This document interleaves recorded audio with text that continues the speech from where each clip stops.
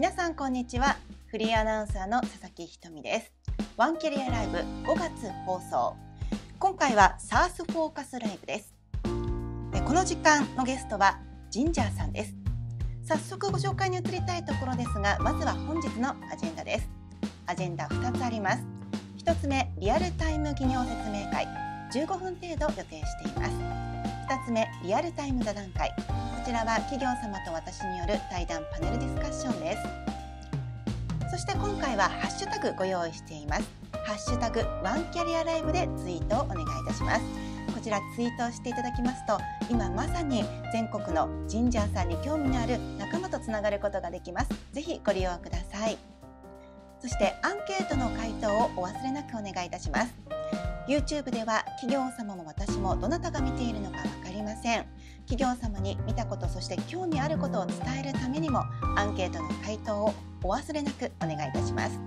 回答は QR コードまたはチャット欄概要欄をご確認ください。そして最後に今回の説明会の口コミの投稿もお願いいたします。学生さんの皆さんの声を募集しています。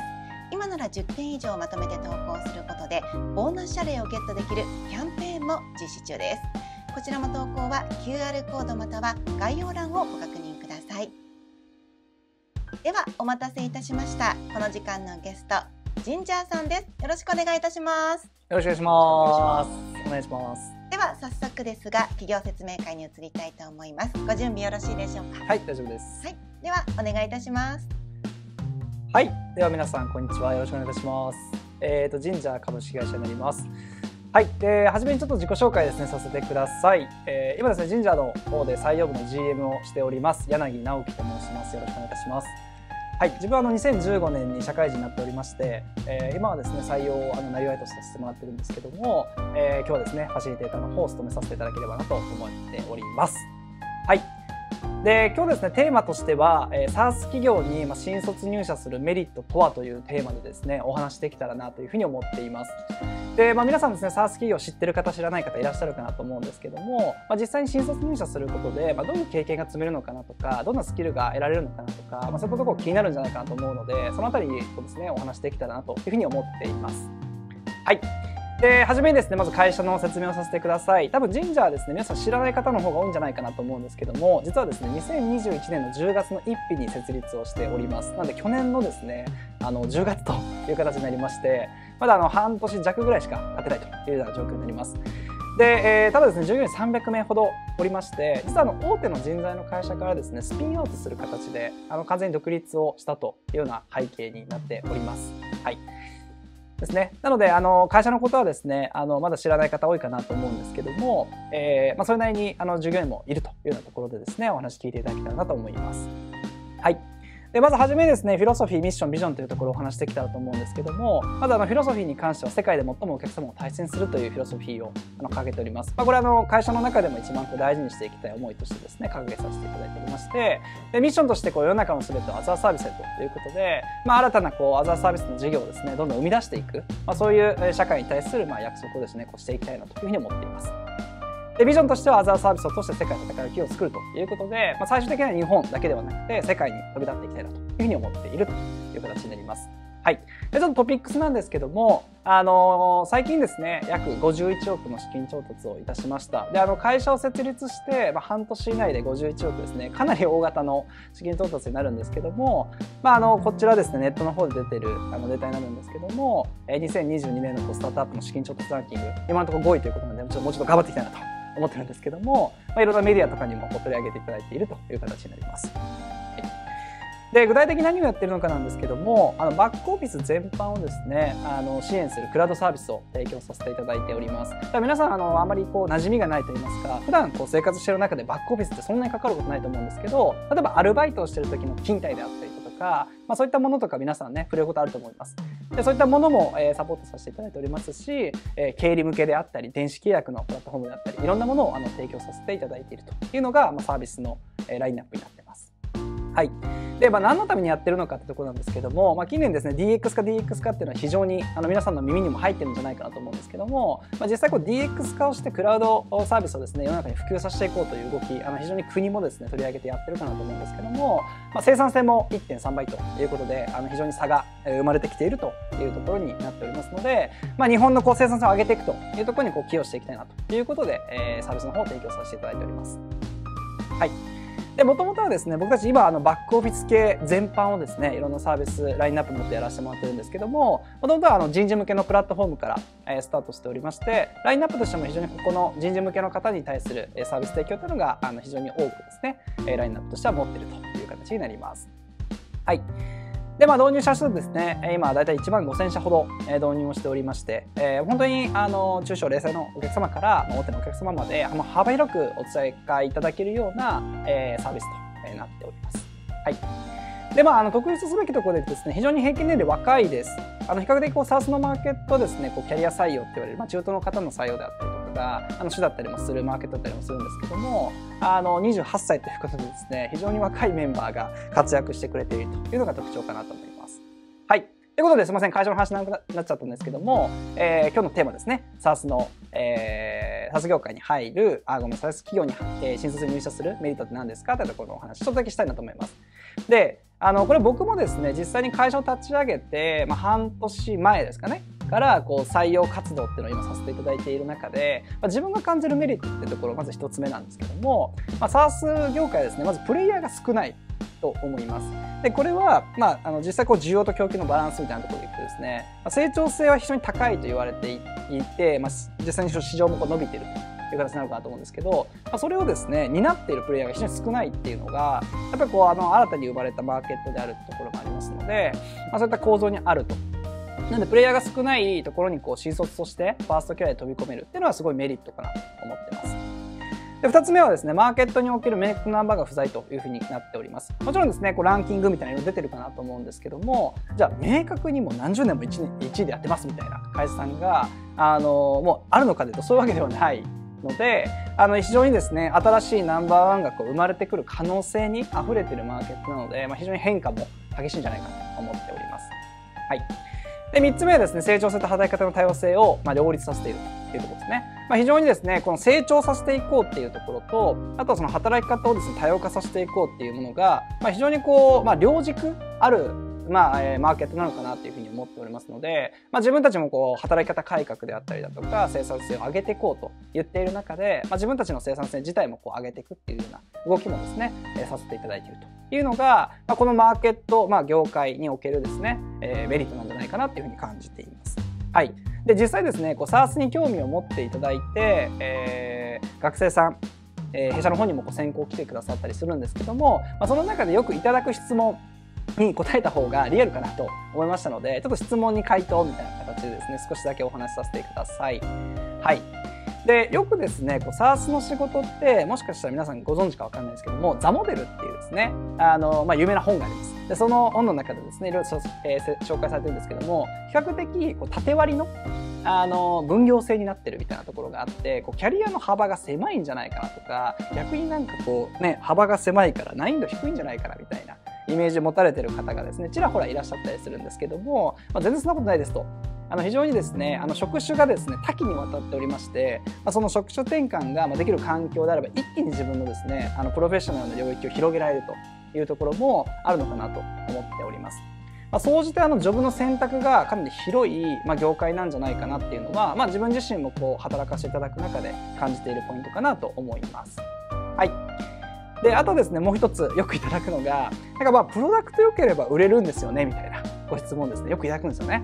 で、実際にこう、プロダクトが良くて伸びるから、まあ、セールスとかって必要なくないですか？みたいな。はい。っていうところとかご質問いただくんですけども、まあ、これもですね、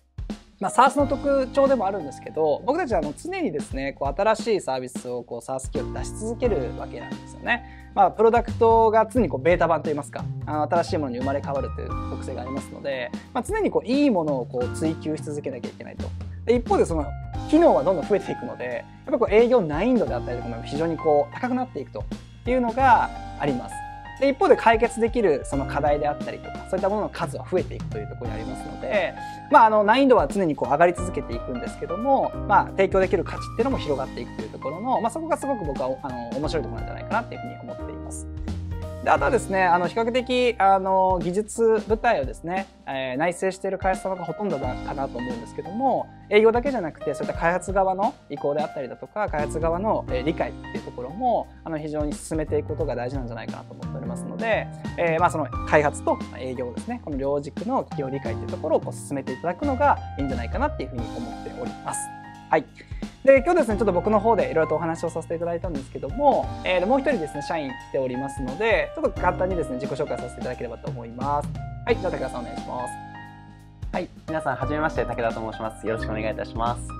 えっと、ここからあのパネルディスカッションでいろいろご質問に回答していく形になるかなと思いますので、えっと、2人で、えっと、回答していければなというふうに思ってます。えっと、ちょっと簡単に経歴だったりだとか、まあ、今の役割だったりだとかをお伝えできればと思っておりまして、えっと、もともとあの先ほど柳の方からもありましたが、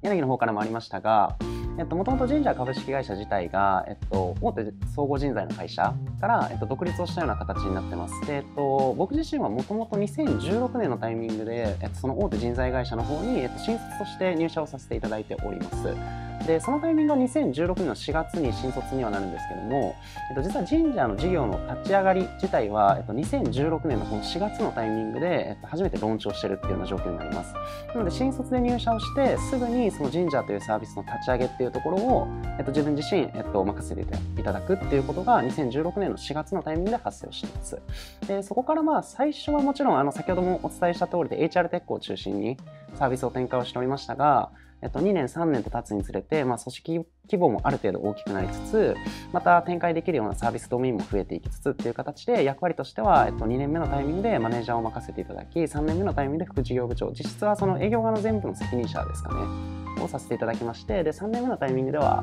この今の神社っていう事業の事業部長をさせていただくっていうようなこういった流れで、えっと、キャリアとしては進んでいますで今回会社が分かれるタイミングで、まあ、この HR テックの領域の本部長として、えっと、実際今は役割を全うさせていただいておりますので改めてこの SARS っていうキーワードであったりだとかあとは神社っていう会社を少しでも知っていただけるような形で、まあ、今日のお時間有意義に使えればなと思いますのでよろしくお願いいたします。はいありがとうございましたなんかエネルギーをすごく感じます、ね、あ本当ですか、はい、ね、今乗りに乗ってらっしゃるんだなっていうのは、はい、お話を聞いててもすごく感じられます。より詳しくですね、この後お話聞いていきたいと思いますので、はい、よろしくお願いいたします。ます。では一旦コーナーを切り替えますので、アンケート回答をしながら少々お待ちください。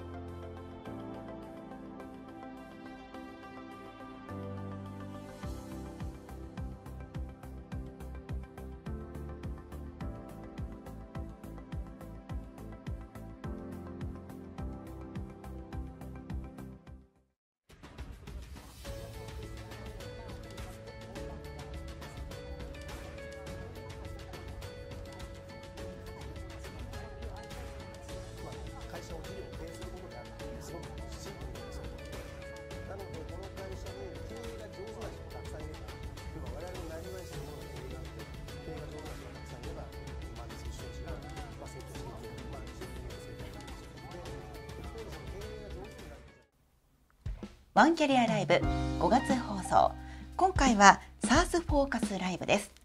この時間のゲストはジンジャーさんです。改めましてよろしくお願いいたします。よろしくお願いいたします。えここからは5つの質問に基づいてお話を聞いていきます。こちらですね。では早速参りましょうか。1つ目の質問こちらです。バックオフィス×サースの成長性とは何でしょうかといった質問になります。先ほど企業説明の中にも生産性を上げたいというふうにお話ありましたけれども、こちらに関してこの成長性とはズバリ何なのかまず教えていただけますか？はい。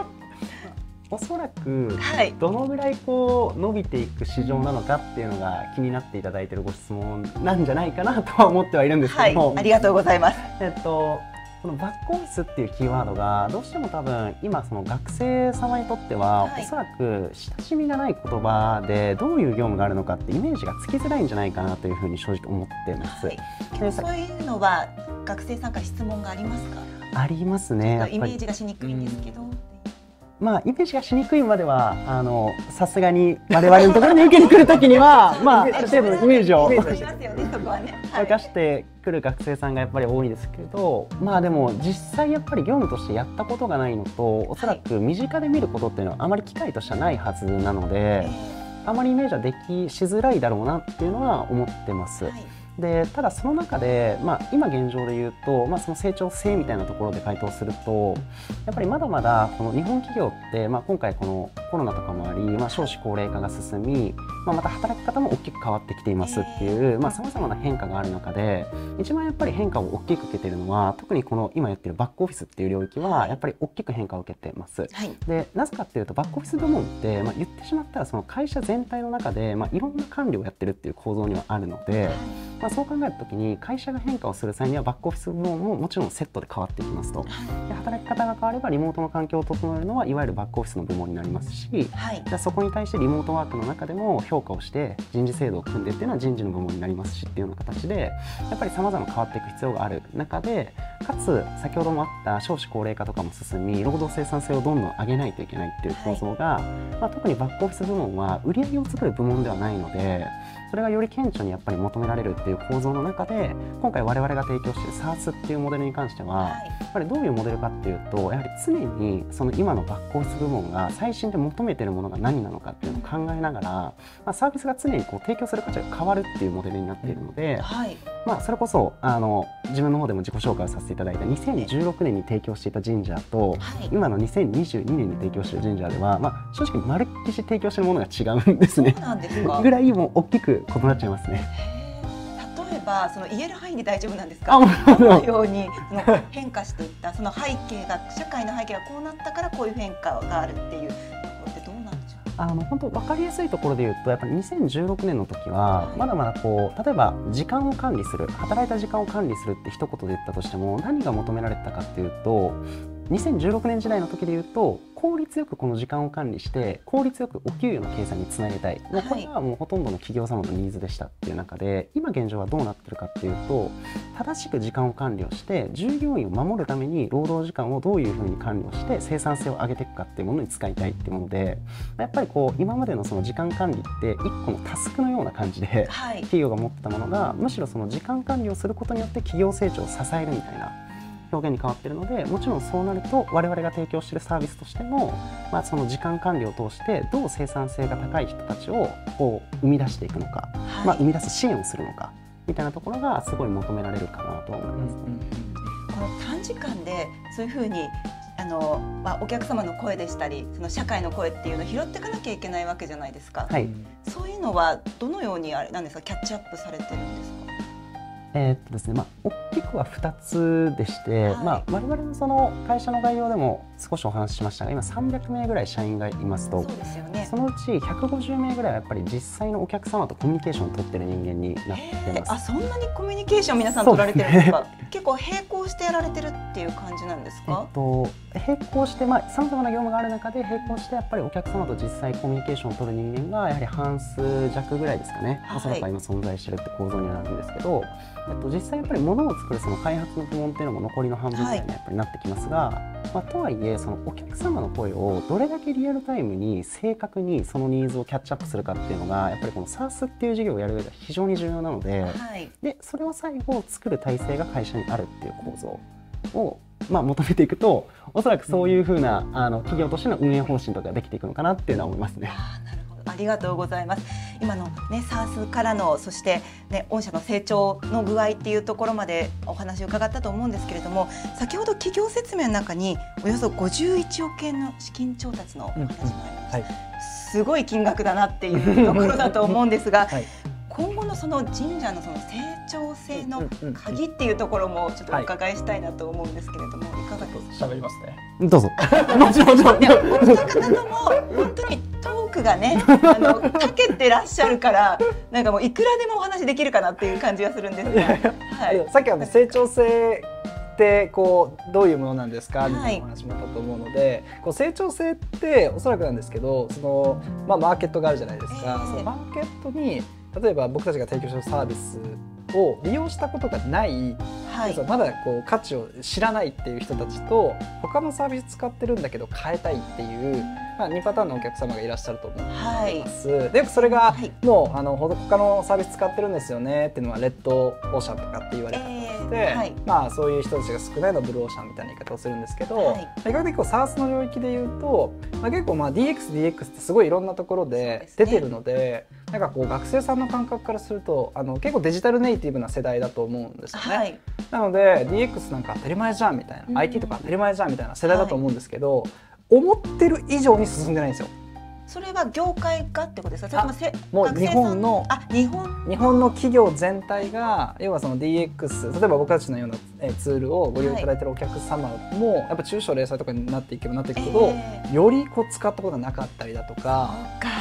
っていうのが、はい。やっぱりこう実際にこう皆さんが感じている、まあ、学生さんが特に感じる、はい。えー世の中って IT 化が進んでいるようなって感覚と実態のズレみたいなものはすごいあるんじゃないかなと思ってはい。いて、でまあ、そこが意外にこうまだ進んでいないというところで、えまあ、成長性がありますっていうところでいくとまだ使ったことがないお客様がたくさんいらっしゃるマーケットであるっていうところと、あとは逆にその、えーサービスも多様化してきているのでいろんなサービスの中で、えー神社をこう選ぶっていうその要はリプレイスするみたいなはい。ケースもやっぱすごい増えてきてるっていうのはこの成長性、まあ、2つのパターンでこう伸びていく理由としては結構あるのかなっていう感じでございます。なるほど、はい。そうするとじゃあそのまあ業界自体を変えていくっていうところで、御社の今後の成長のまあポイント一つでもあるっていうことですかね。そうですね。あのまあここら辺多分高橋さんの方が詳しいかなと思うんですけど、はいまああのバックオフィスっていう言葉って結構広い定義じゃないですか。はい例えばバックオフィスの中でも人事とか総務とか、えー経理とか、はい。い、ろんなところにこう分類されるものをこうバックオフィスサースみたいなところで僕たちが言ってる理由としては、もともとさっきあのご質問いただいたように。えあの最初の神社と今の神社って全然違うんですよってうん。武田さんからあったと思うんはい。ですけど、まあ、要はですねあの解決できる問題がやっぱすごい増えてきているというか、はい。提供できる価値が増えてるってところだと思うんですけどあのやっぱそういうふうにこうどんどんどんどんこうできることを増やしていって今本当にバックオフィス全般をはい。サポートするようになってきているっていうのがあの非常にこうお客様からも、はい。まあ、神社があればあのいろんなことができますよねっていうところが非常にお声としてはやっぱ多い。ところだったりしますね。はい。まあ、外ではねバックオフィスの部分っていうのはなかなか見えにくいところだと思うんですが、はい。まあ、それが変わることによってうん。社会の動きがどんどん変わってくるっていうところだと思うので、うん。ね、きっとこれからまあ学生さんとかこの業界にもしジョインする場合は、ね、新しいことを生み出すっていうところではすごく面白い経験ができるのかなってお話を聞いてて感じられました。では続いての質問です。こちらです。サースかけるセールスの醍醐味とは何でしょうかといったでは待ってましたということで全然待ってはないですけど、今ね柳さんからねもうあのでも入社してからずっとました。はい、そうだもんね。七七年間。丸7年ぐらいやっているのでじゃ、あもうねもう畑ですね。そうですね。お願いしますか。けるセールスの醍醐味。はい。あのおそらくこの一般的な、まあ、ちょっとセールスっていう表現が多分営業とかセールスとか慣れ親しみがあるのが多分営業っていう言葉かもしれないんですけど、はい一般的な多分営業っていうものとおそらく大きく SARS のセールスって違う生態系が違う部分があるなと思ってるんですけどはい。あのいわゆるその営業っていう言葉を聞いてイメージするのって何か物を売るみたいななんかこういう表現にすごいなりがちだなと思ってます。はい。でその SARS のセールスまあその SARS の営業でも別にいいですけど、えっていうものは、まあ、物を売るというよりかはどちらかというとその価値を感じてもらって買ってもらうっていうなんか少しこのニュアンスがやっぱり違ってるんですよ。ーはい。でなぜかっていうと今までのこのモデルと SARS っていうモデルはもう画期的に違うところは、えやっぱり今までって物を買った瞬間にお金を支払うってモデルだったと思うんですけど、ーはい。この SARS のモデルに関しては使い続けることにお金が発生するので最初の入り口で物を買うってことはほぼないんですよ。はい。多分あのイメージしてもらうのがネットフリックスとかそうですよね。なんかそういう Hulu こととか。ああはいい。うのってすごいイメージしやすくてそれこそあの今までってレンタルビデオ屋さんで見たいビデオを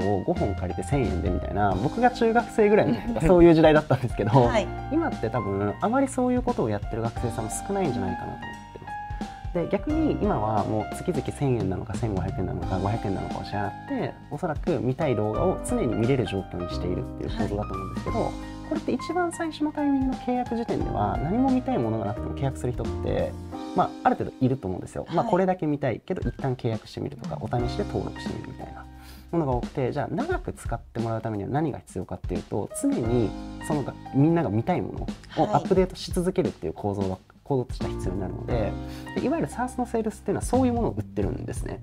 なので入り口で、えっと、売り上げを上げるっていうことはそんなに実は難しくなくてただ長く使ってもらう、まあ、イコールで長くお客様が選んでいただいているので、はい、価値を感じてくれているっていうものをどういうふうにこのまあ、捉えて仕事に取り組めるかっていうところが多分セールスとしての楽しさであり多分醍醐味でありやりがいでありみたいなところになるので、はい、まあ、さらにちょっとだけ具体的な話をすると、お願いします。あの結局何が一番唯一できて、まあ、いいかっていうと、まあ、いわゆるこの SARS のプロダクトをどういうものにした方がいいっていうものをやはり営業からでも、まあ、いわゆるカスタマーサクセスと呼ばれる人間からでも、はい、まあ、誰からでもやっぱりプロダクト側に意見ができるっていうもので、まあ、自分たちが提供したい価値を自分たちで作るってことが、まあ、いわゆるこれは社内向けにもできてで、社外のお客様に自分たちが提供したいものを作ったものを販売するってことができるので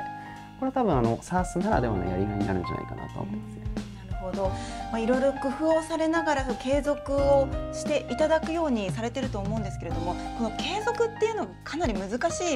ね、ハードルの一つなんじゃないかなっていうお話聞いてて感じるんですがそこへの工夫などもされてるんですか？していますね、まあ、しいないと、はい、ね、としては、はい、えー、などしてはいるんですけど、そのしてもらうってすごくあの難しく考えずに多分シンプルに考えた方がいいかなと思ってるんですけど、はい、やっぱりお客様が困ってるものをきちんと解決し続けるっていうだけだと思うんですね。でこれが先ほど言っていた時代が変わればとか企業のフェーズが変わればとか、まあ、困ってる内容が変わると思うんですよ。はい、それが常にじゃあ提供し続ける困ってるものを解決し続けるものじゃないと続いていただけないっていう構造だと思うので、まあ、我々で言っても今っていわゆるもう90数パーとかっていうリピート率なんですけど、あのまあすごい、まあ、基本的にはそこをやり続けるっていうだけじゃないかなと思いますね。だから普段からお客様としっかり向き合ってるからこその今のまあ結果に結びついてるそうですね。まあ向き合って向き合ったものを作っていく一緒にっていうのがそれはお客様ともあの開発側ともセールス側とももうみんなで一緒に価値を作っていくっていう構造がすごい重要なんじゃないかなと思いますね。はい本当にその向き合う力ですとか、ま、考える力ですとか本当になんかいろんな力を身につけながら成長されてるんだろうなと、まあ、個々の力っていうのを身についていくんだろうなというふうに思うんですけれども続いての質問こちらです。はい、SARS× 新卒が歩むキャリアパスとは何でしょうかといったところで今日見ている学生さんは新卒ということで、ね、はい、で先ほどねあのお話であの中途の方がね、はい、この業界多いんじゃないかまあ多いというお話がありましたけれども、ね、ただねあの武田さんも新卒で スタートされてっていうところもありましたし。ね、新卒としてのこのキャリアパスっていう気になっていらっしゃるかなというふうに思います。こちらいかがですか？ありがとうございます。なんかあのそうですね。まだその例えばファーストキャリアで、はい、サース系の企業を選んで、その中で例えばあるところまでちゃんとキャリアアップをして、そこからこう違う業界にみたいな例自体がそもそも少ないと思っています。はい。どちらかというとそのまあ途中のセカンドキャリアサードキャリアで、はい、サスケの会社でやってたんですみたいな人たちは実際僕もあの中途採用とかもやっぱさせてもらう中でも、はい、あのそういう方出会うんですけど新卒でそこでビッチビチにやってきましたみたいな形のキャリアってああんまり出会わないんですね。はいっていうところを考えると、まあ、これから本当にどういうふうにこう評価されていくのかみたいなところはまずあの個人的に楽しみであるっていうところもまずあります。これちょっとあのまあ、ポジティブでもありネガティブでもあるかなと思うんですけど、まあ、どういうふうに自分たちが評価されるのかみたいなものがそもそも自分たちで作っていくみたいなそういう時期感でもあるのかなと思うので、はい、すごい可能性は無限大であるなとは思ってます。で最初ちょっと説明会でもお話しさせてもらったんですけどやっぱプレイヤーが少ないってやっぱすごく僕はいいポイントかなと思っていて。はい特にこの新卒で、えー、と入社をして SARS 系のビジネスをやってましたっていうプレイヤーが少ないのでじゃあセカンドキャリアサードキャリアみたいな、まあ、結構最近あの転職を前提としてこう就職を考えてますって学生さんも増えてるっていうふうに、あの伺ってますので、まあ、そういうセカンドキャリアサードキャリアにつながるみたいなところでいくとやっぱそういった、まあ、SARS 系の経験してる人が少ないのでそこをこう取りに行きたいみたいな一定のニーズは、まあ、生まれてくると思うんですけどそこのまあターゲットがやっぱ少ない分、はい、まあ、希少価値みたいなものは上がりやすいのかなっていうのは一つありますかね。どどうですか？自身が経験する中で、はい、ずっとですもんね。ずっとだから結構珍しいキャリアだと思いますけど。まあ僕の場合はそれこそ意図してではなくではまあ実際のところはあるんですがまあでも実際でも事実そうかもしれないですね。やはりこの新卒でこの SARS の授業の中心でやっていたっていう人間はやっぱなかなかいないので、はい、ただこれって今いないだけであってここから5年後とか10年後の世界ではおそらく、まあ、この SARS の授業自体が伸びていくってことを考えると、はい、あのどんどん出てくる中の、まあ、言ってしまえば最初のステップが今のこの学生さんとかの年代なんじゃないかなっていうのとかは反面思ってるところですかね。じゃあ今のタイミングっていうのもある意味その価値を上げる一つのポイントっていうことですかね。めちゃくちゃ大事だと思いますタイミングは。じゃあもう学生さん今ぜひ今 今って感じですね。ありがとうございます。続いての質問こちらですね。そんな中で、まあ、サースにもたくさん種類があると、はい、どう選べばいいんですか？といった質問になります。これ一番難しいよね。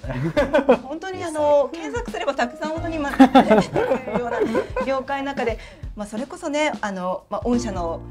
PR ポイントの、ね、一つもちょっとまあの含めてちょっとお話しいただきたいなっていうふうにどどう選べばいいですか？あの PR 一旦抜きにしてわかりました。真面目に一旦回答すると。はい。えっとまあ、さっきも言った通りで、SaaS ってサービスは今提供してる価値と3年後に提供する価値が変わる可能性が高いんですね。はい、というよりかは変わり続けないといけないサービスなんですよ。はい、ただ、えっと、会社として一番大切にしたいものっていうのがその価値とかプロダクトに現れることっていうのは、まあ、往々にしてやっぱりあるかなと思ってます。はい、なのでその会社がどういう方向性で何を目指しているのかがプロダクトがそれを表すっていう構造はすごくあるかなと思っていて。まあ、我々で言うとあの先ほども会社説明で少し喋りましたが世界で最もお客様を大切にする、これがまあ一番重要な価値観ですって中なので、まあ、どこまでもお客さんに近い距離でプロダクトを作っていくっていうところが、まあ、おそらく我々にとってすごい重要なことであり、まあ、そういうふうにプロダクトが変わっていくのでおそらく長い目で見ると今、まあ、同じように見えてる SARS 企業、はい、か同じようなものを扱ってるんじゃないかっていうふうにもしかすると学生さんの中で映ってるかもしれないんですけど実際これがまあ今はこうなんて言うんでしょう少しの違いだとしても、これがまあ同じ方向性で5年間違いが続くとおそらく大きな違いになるはずなんですね。はい、これがまた10年続くともうまるで別物になるっていう構造だと思うのでなんか企業が何を目指してるのかみたいなところとかはなんかその目指すものにちゃんと学生さん自身も長く働くのであれば共感できるかっていう要素をなんかちゃんと見るっていうところはすごく大事な気はしますね。この共感っていうところがやっぱ一つポイントになってくるんですまあ目指しているものへの共感はおそらくあの今見えているプロダクトが提供しているもの今見えているその提供している価値が、まあ、3年後5年後に変わっているのでい。や、思ったのと違ったにならないためには、まあ、そこが一番多分大事なんじゃないかなと思います、ね。結構その就活する学生さんってこう点で企業を捉えると思うんですよね、今の会社がどうなのかとか今の自分の、えー、入社をする時の例えば福利厚生はどうなのかとか仕事は何なのかとか、はい、なんですけどやっぱこう線で企業を見るってことがすごい大事だと思っていて、まあ、さっき武田が言ってたようにこうまあ、未来どこ目指してるんだっけとか、何を目的にしてるんだっけっていう話も大事なんですけどその過去も結構大事だと思っていて個人的には。そのまあ、どういうルーツで生まれて、はい、まあ、どういう思いからこう舵を切っていって、うん、でまあ、将来的にこうどういうふうにこう目指していくのかってこれ多分一つのストーリーになってると思うんですよね。えー、なのでこの、えー、過去から、まあ、未来みたいなところを線で結んだ時にあこの船に乗りたいなっていうふうに思うかどうかっていうところですね。で結構やっぱ SARS っていろいろとあってあの違いが分かんないですっていう人たちの特徴としては、間違いなくプロダクトを見てるからだと思うんですよ。同じような機能があって同じような、えーまあ、課題を解決してるから同じように見えてるんですけどただ絶対こう船出のタイミングと目指してるところには違いがあると思うので、はい。この辺りは見ていって自分の共感性があるかないか見ていくと、まあ、いいんじゃないかなとは思います。はい。そういったところを踏まえてジンジャーさんもはい。御社のこともしっかり調べていただきたいなというふうに思いますね。そうです。ねあのでもちょっと PR しておくとですはい、ね、あありがとうございます。そうですね、しっかり、はい。最後にしっかり、はい、お願いします。あのー僕たち先ほどちょっと冒頭でもお伝えさせてもらったんですけど、ええその人材の会社からスピンアウトしたっていうお話そうですね、おっしゃってましたよね。はい。いただいたんですけどやっぱりその人材って基本的にこう採用のご支援を結構する、ええはい。えーサービスが多いんですね。でその採用のご支援っていうところからただ採用してもやっぱ辞めてしまうとか、はいなかなかこう人材の活用ができていないとか、やっぱこう採用のご支援ありがとうございますっていう中でもやっぱそういった声ってやっぱすごい聞くことが多かったと。なので結構僕たちはその人材の会社からスタートしてるって背景もあるので、はい人事の方の結構深いこう悩みといいますか、うんこう表層的なところというよりかはあの本当に悩んでるところみたいなところから、まあ、プロダクトを作っていってるところもあるので。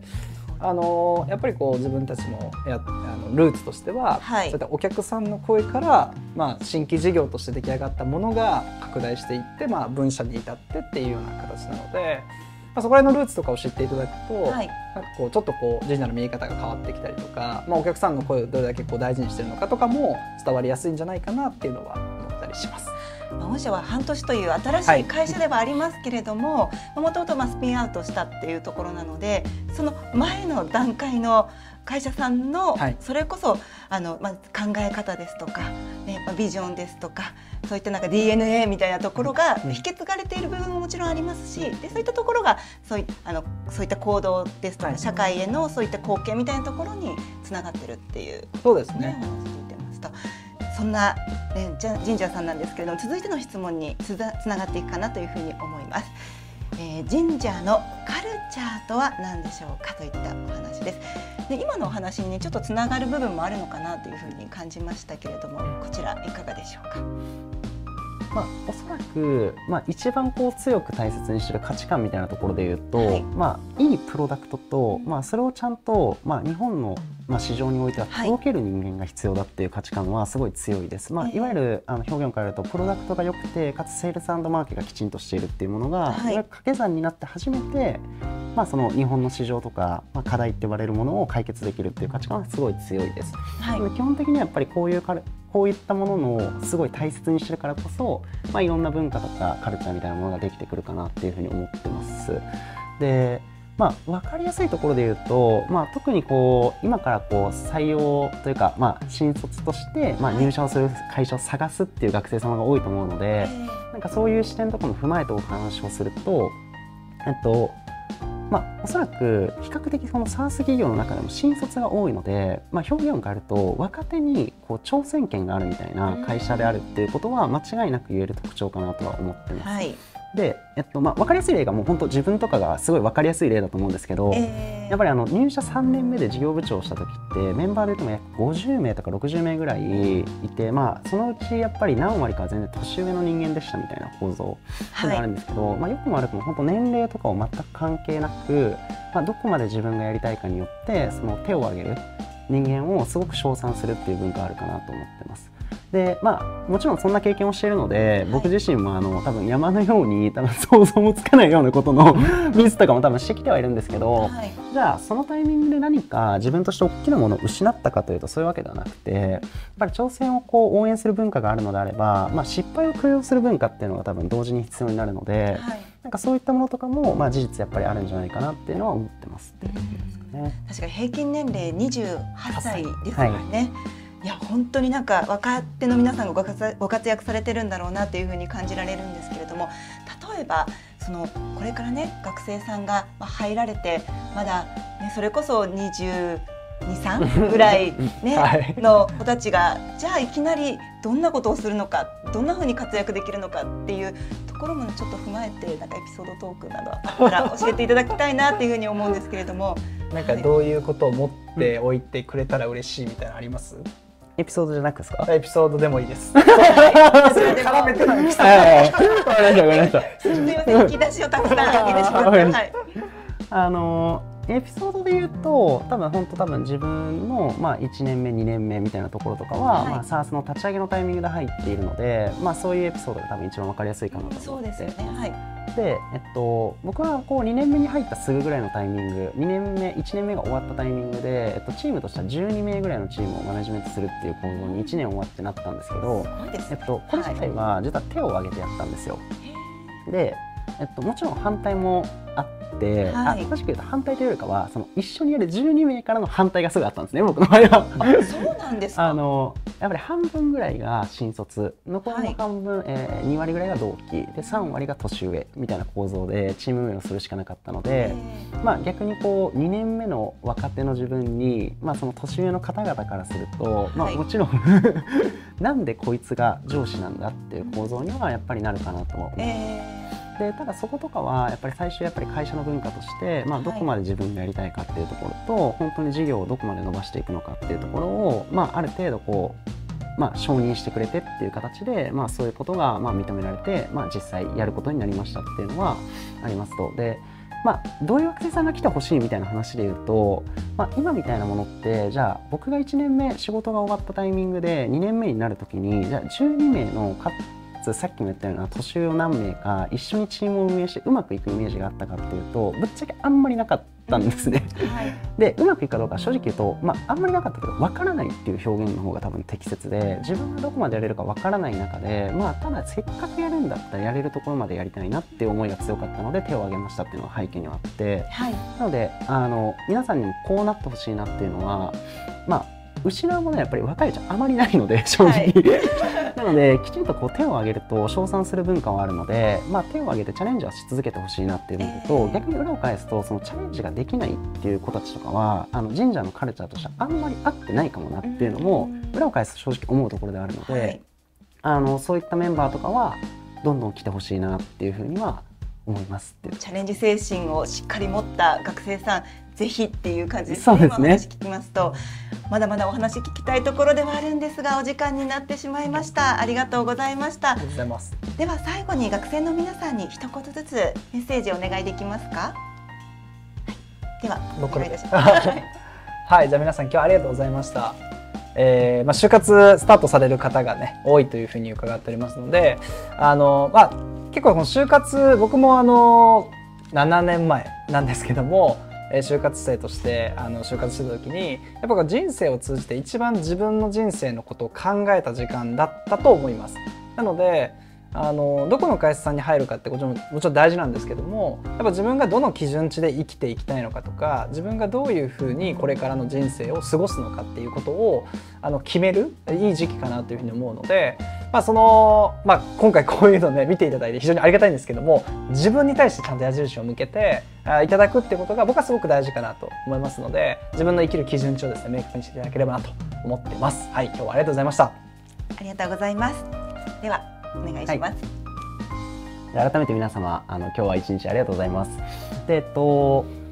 ちょっと先ほどの話と逆に裏を返すようなことになるんですが、えっと、こういう就活生もいますっていう話で僕自身も7年前6年前ですかねに就職活動をさせていただいた中で、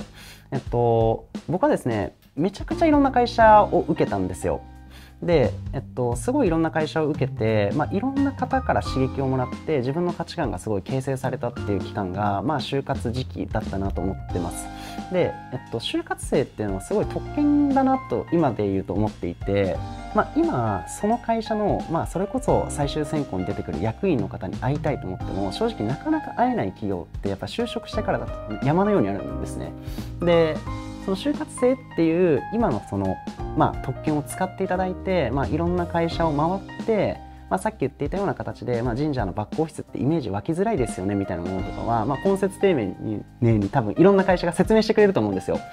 でその中で自分が本当にやりたいことって何なのかっていうところとどういうふうな生き方をしていきたいのかっていうことはこの今から長い人生だと思うので、まあ、考えてもらえればなっていうところと、まあ、少しでも神社いいなと思ってもらえたら、まあ、そういう意味で言うと一回足を運んでもらえるといいんじゃないかなっていうふうに思いましたので改めてですが本日ありがとうございました。ありがとうございました。では最後にお知らせです。皆さんアンケートの回答はお済みでしょうか？えー、企業様が皆さんが見たことを知るためにアンケートの回答お忘れなくお願いいたします。回答は QR コードまたはチャット欄概要欄をご確認ください。そして今日の説明会の口コミの投稿もお願いいたします。